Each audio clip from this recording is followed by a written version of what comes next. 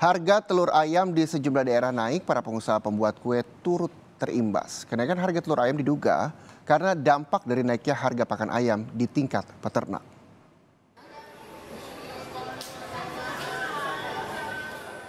Harga telur ayam di lapak pedagang pasar tradisional Tanjung Jember, Jawa Timur naik sejak sepekan terakhir. Harga telur ayam saat ini mencapai Rp32.000 per kilogram dari harga Rp25.000 hingga Rp26.000 per kilogram.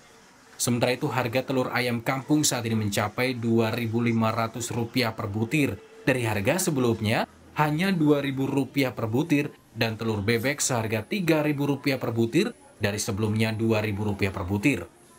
Kenaikan harga telur ayam diduga akibat naiknya harga pakan ayam di tingkat peternak dari harga normal Rp473.000 per 50 kg menjadi Rp489.000 per 50 kg. Telur beberapa hari terakhir ini mengalami kenaikan lagi.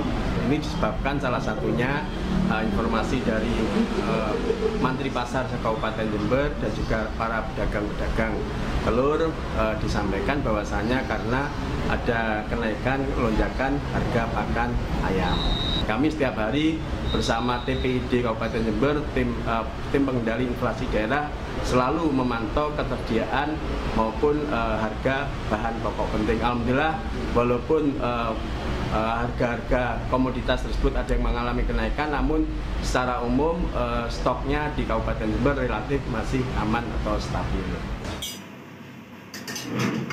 Di Indramayu, Jawa Barat, naiknya harga telur ayam di pasaran mencapai hingga Rp32.000 per kilogram. Salah seorang pembuat bolu pasar mengaku terancam bangkrut sebab tak hanya telur ayam, harga tepung terigu juga naik dari Rp160.000 per karung kini menjadi Rp232.000 per karungnya. Kalau dampaknya banyak ya Mas ya. Yang pertama eh, jualannya sepi, sekarang mah lagi sepi banget. Terus kalau untuk bahan sekarang lagi pada naik terigu kayak telur udah mahal banget sekarang mah cuman kita sebagai yang bikin kerjanya seperti ini ya harus bertahan dulu. Mudah-mudahan ya ke depannya bisa turun lagi gitu. Kayak ukuran sekarang mah belum masih biasa. Karena susah sih mas kalau mau dikurangin. Ini sepertinya udah kecil sekali. Kalau dikurangin lagi ya ya susah sih.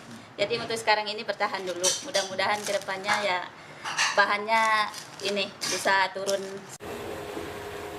Di Bangli, Bali, salah seorang pembuat kue mengaku saat ini keuntungan penjualan kue miliknya berkurang hingga 20% akibat harga telur naik. Sebab harga telur ayam dari kisaran Rp30.000 per kilogramnya kini naik menjadi Rp40.000 per kilogram. Sementara harga tepung terigu yang juga merupakan bahan baku pembuat kue naik dari 175 per 25 kilo kini naik menjadi Rp185.000. Untuk mensiasati penjualan kue miliknya, pedagang terpaksa mengecilkan ukuran kue. Uh, dampaknya sangat uh, besar ya. Mm -hmm. Soalnya selain harganya naik, juga nyari telurnya susah. Mm -hmm. uh, terus dampaknya jadinya untuk keuntungannya berkurang lah. Kalau naikin harga kan susah sekarang soalnya kan saingannya banyak. Hmm. Terus untuk menyiasati naiknya telur ini gimana Bu? Ada ukuran diperkecil atau gimana? Oh paling ukurannya diperkecil lagi dikit lah. Hmm. Para pembuat kue berharap agar harga telur dan tepung bisa kembali normal sehingga produksi kue bisa kembali lancar. Tim Liputan Kompas TV